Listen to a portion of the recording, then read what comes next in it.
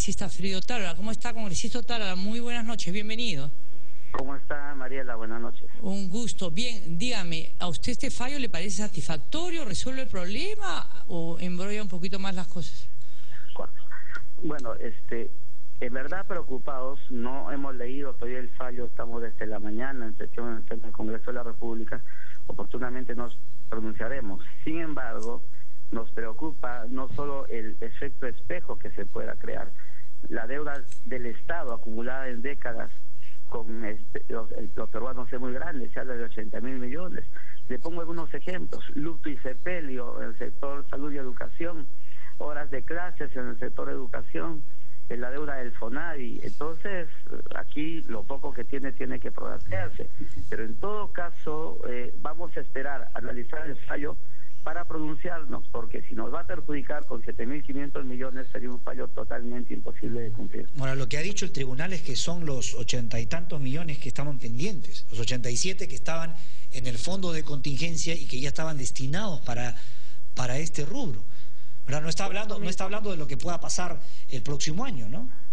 Vamos a esperar leer la sentencia, pero eso tiene su continuidad, pues no viene esto y viene el próximo año y podría destrozar la economía del Perú. Pero ahí podrían cambiar la ley, o sea, digamos, la alternativa es ahí cambiar la ley y evitar justamente que esto vuelva a ocurrir el, siguiente año también. Eso se evaluará, yo preferiría leer la resolución del tribunal para pronunciarme con mayor detalle. Ahora, la resolución del tribunal congresista Tarola no se refiere a esos 87 millones, eso es un recordaris que hace el doctor Urbiola, no sé si está en esta sentencia. La sentencia es que el conflicto de competencia que se había eh, presentado ha declarado para el Tribunal Constitucional fundada la demanda en el sentido de que es el Ejecutivo quien maneja la hacienda pública y que es el, que, el competente para manejar la hacienda pública. Entonces, eh, si es así, a partir de este momento la homologación de los jueces es una ficción, ¿o no? Como le digo, Mariela, yo preferiría leer la sentencia.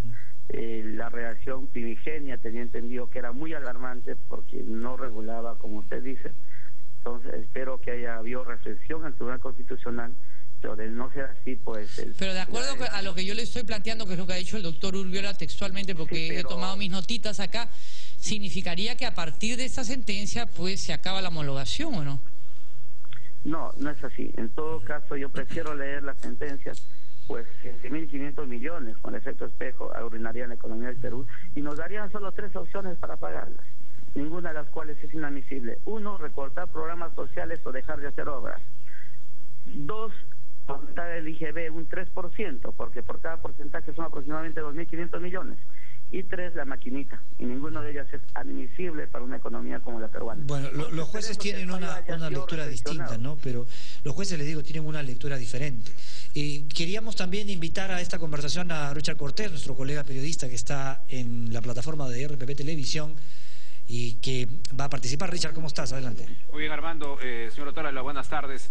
El, eh, doctor Urbiola ha dicho que si hay fondos para cumplir con esta sentencia. Mi pregunta es, ¿considera usted que este es un eh, mal precedente para lo que pueda pasar más adelante? Quiero revisar la sentencia, honestamente. Fondos, yo no sé si el doctor Urbiola maneja el presupuesto del Perú. No, no creo que lo haya dicho así de fácil. Eh, pero en todo caso, insisto y reitero, la deuda social con sentencias culminadas que tiene el Estado con maestros, profesores, médicos, eh, es muy grande. ¿no? La 037, por ejemplo, en el sector este, salud, y obviamente el Estado tiene que responsablemente comenzar a cumplir con esas obligaciones.